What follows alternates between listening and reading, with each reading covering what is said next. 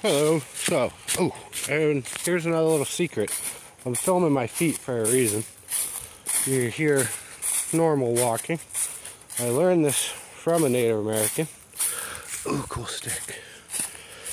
That when you're in the woods, if you want to be quiet, heel toe, heel toe.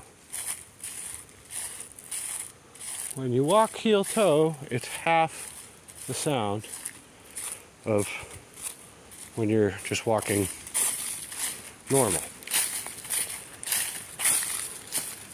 Now listen. Pretty cool, huh? So if you ever want to walk through the woods and be pretty quiet, just heel toe it. I did just see a little fisher cat back there. That's why I started recording, but he took off. Uh, they can be dangerous, but not really.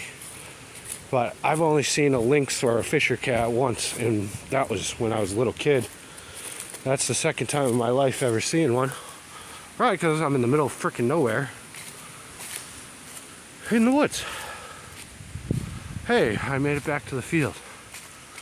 So, this half an hour walk that I meant to take has been like an hour and a half. I got behind somebody's horse farm where that bridge was.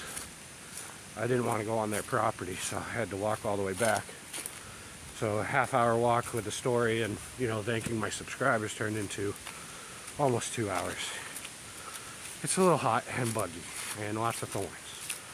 I got this for on the way back so I can get rid of some of the thorns on my way and to smack mosquitoes off the back of my neck. But thanks again, subscribers. I hope you guys like this video. I don't know what. I'm going to just upload a couple videos because my camera keeps shutting off. it looks like there's another trail over there.